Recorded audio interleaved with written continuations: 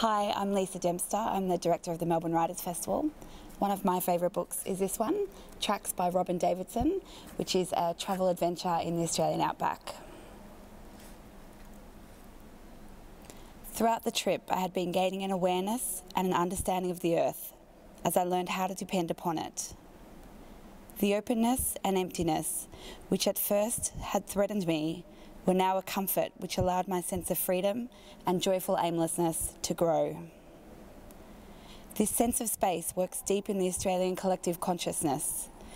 It is frightening, and most of the people huddle around the eastern seaboard, where life is easy and space a graspable concept.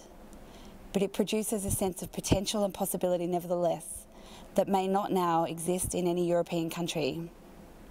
It will not be long, however, before the land is conquered, fenced up, and beaten into submission.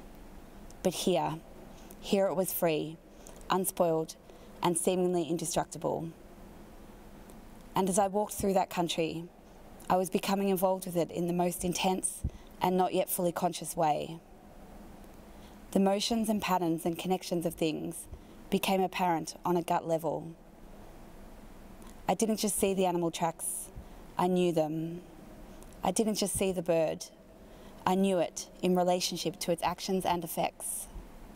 My environment began to teach me about itself without my full awareness of the process. It became an animal, animate being of which I was a part.